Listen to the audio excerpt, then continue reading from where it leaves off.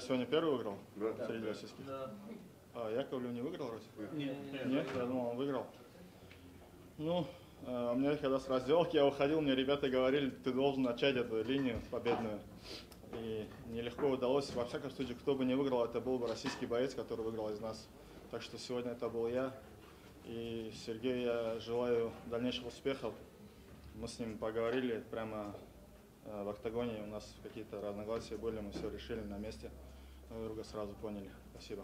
А спонсор данного выпуска – наши друзья из 1xbet, ведь там самые высокие коэффициенты, а также самые быстрые выплаты. Все ссылки вы найдете в описании и в закрепленном комментарии. А по промокоду BSNews новые пользователи получат до 100% бонуса при первом депозите. Рустам, что с глазами? Не знаю, а что с ними. Красные. Смотри, не знаю, может перенагрузился, может быть он меня бил и попадал в область лица, он все время такими мелкими тычками работал. Дальше какого, кого хотел бы видеть в следующем ситуации? А, а, не имеет значения, кого бы я хотел видеть э, следующим соперником. Единственное, я знаю, что мне нужно физически по, получше подойти к следующему бою, потому что э, Сергей не самый крупный боец в, этой, в этом дивизионе и не самый физически сильный. Я почувствовал его мощь сразу же. Когда я прошел ноги, он двумя руками отключил мою левую руку. Я не мог эту руку вырвать, и я понял, что такое 77 килограммов. Я буду по-другому в следующем бою готовиться. А, Рустам, такой вопрос. А, Ты сейчас выиграл седьмой из последних восьми поединков. Все они прошли за пределами США. И понятно, что отсутствие на американском рынке мешает продвижению. Как дела обстоят с визой? С визой дела никак не обстоят, пока все тяжело. Единственная хорошая новость, то что Абу-Даби подписал контракт на 5 лет, титульные бои там будут проходить. И это дает какой-то шанс мне выступать уже там, с топовыми бойцами.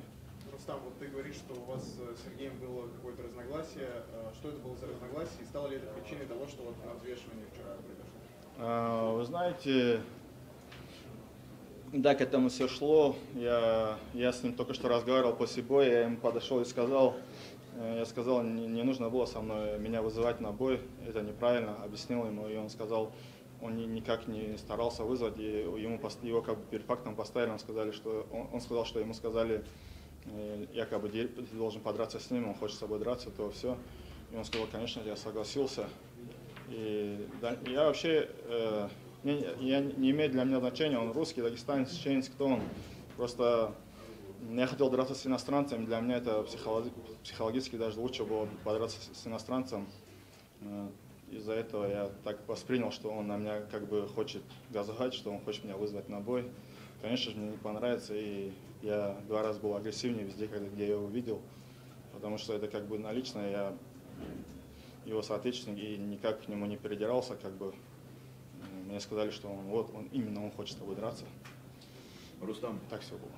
Тебя можно назвать уже ветераном UFC, тогда как Сергей только начинает свой путь Да. в промоушене. Э, Можешь э, сказать, как ты думаешь, что ждет его в будущем, уже зная его в бою, да, как бы? И какой бы совет ты ему бы мог дать? В первую очередь я ему совет дал бы, чтобы он э, больше уделял время борьбе. И второе, чтобы он поработал над своей выносливостью. Так как я смотрел предыдущие бои, он в вто- втором раунде он уже подседает, в третьем раунде он бывает никакой. То же самое сегодня произошло. И почему я первые два раунда проходил в одну ногу, потому что он хорошо оттягивал, а в третьем раунде я уже видел, что он полностью устал. Я сделал рывок две ноги, я просто я видел, что он уже не особо много двигается на ногах. Я просто залетел две ноги и сбил легко его. Рустам, вот вы сказали, что ну, бои между россиянами кому-то нужно, там, бои между двумя российскими бойцами кому-то интересно. Я прям видел, это был статы. Не изменили мнение об этом? Потому что вот мы же с коллегами общались, ну, довольно интересно смотреть, потому что мы знаем вашу историю, знаем историю Сергея, и, по-моему, это был пока самый интересный бой на турнире, потому что два бойца с понятными историями. Может быть, это для российских, для российских фанатов интересно было, но для иностранцев я не думаю, что так интересно это было. И я сказал, что это мне лично не интересно, потому что, как только что сказали, я уже ветеран в, это, в этой организации, он только один бой сделал, и он только свой путь начинает. Конечно, для него это выгодно. Просто там сегодня чуть больше борьбы было от тебя, и люди привыкли к тому, что у тебя яркие приемы, там суплексы, все, что только может быть. Э, Планируешь ли ты это возвращать, потому что люди привыкли, что ты зрелищно дерешься и были расстроены, когда ты играл тактически. Вы знаете, я вот, э, я сказал, если мы войдем в клинч, я его запущу оттуда. Но каждый раз, когда я заходил ему за спину, Э, четко и ясно я слышал, как его угловые ему кричали «не вставай, не вставай» и прямо говорили «сиди». Я не знаю почему, потому что они, может, знали, если он будет подниматься, я буду его запускать.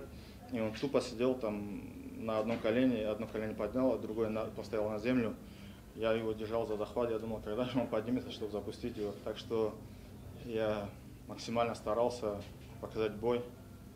Обычно он в этом захвате он старается там сделать подхват, но он даже не попытался этого В сделать. первом, в первом раунде, когда э, вы стояли еще в стойке, послышалось, что Абдулманап э, так на тебя довольно ну, жестко прикрикнул о том, что не нужно там, драться в стойке и прочее. Что он тебе говорил там между раундами, и был ли он тобой недоволен? Нет, он сказал, он после первого раунда, он сказал, э, ты его прижимаешь к сетке, все правильно. Он сказал, чтобы я взял э, э, двумя руками за одну ногу и забрал его под себя. И во втором раунде, когда я уже весь первый раунд увидели, у меня одна рука была вот так, он держал двумя, двумя руками. И во втором раунде судья ему э, четко подошел и сказал, э, не держи пальцами перчатку. Видимо, он засунул пальцы перчатки. И я начал смотреть, сделал ли он это. Но я не видел, я не знаю, он держал или нет, но это нереально было вот так держать одну руку, как только я не старался вытащить. Потом, после того, как судья сделал замечание, я вырвал свою руку и взял вторую ногу и сбил, как сказал тренер. В следующем поединке с кем хотел бы встретиться? Вот здесь история с Масвидалем. Э, В следующем бою я э, э, сказал уже, что я хочу, у меня разницы нету с кем подраться, мне дадут следующего соперника. Таких бойцов, как Масвидаль, мы знаем, что он сейчас на высоте, он уже считает, что претендент, он в следующий бой может драться за пояс, и это сто процентов, наверное, что он будет драться за пояс. Мне нужно ярко выиграть хоть один бой, чтобы, прежде чем вызвать его на бой. Видел ли ты бой Абубакара Нурмагомедова, Да. когда был в раздевалке? И, Да. повлияло ли на тебя это? Как- Я очень огорчился, я начал нервничать, и тренер э, Абдуманап мне подошел, сказал, не обращай внимания, готовься на свой следующий бой, сосредо- сосредо- сосредоточься на, следующий- на свой следующий бой, не обращай на это внимания, и я начал дальше работать на, на лапах, и на самом деле он дал правильную подсказку, потому что я начал нервничать. Немного продолжу вопрос. Ты с Абубакаром э, сейчас в раздевалке успел пообщаться, поговорил, как обсудили? Да, он был очень сильно расстроен, я ему сказал, что его только путь начинается, и э, с каждым боем он будет набирать опыт, и это всего лишь маленькая ошибка, что его ждет э, большое будущее. Еще вопрос. Сергей работал коленем, бил часто лоу-кики, а мы знаем, что тебе делали операции на ноги. Как сейчас ты себя чувствуешь? И, э, По коленю он мне не попал, он мне по голени хорошо достал несколько раз, он почти отбил мне ногу после двух ударов, я это почувствовал. И я начал бо- больше перемещаться на ногах, чтобы он не доставал.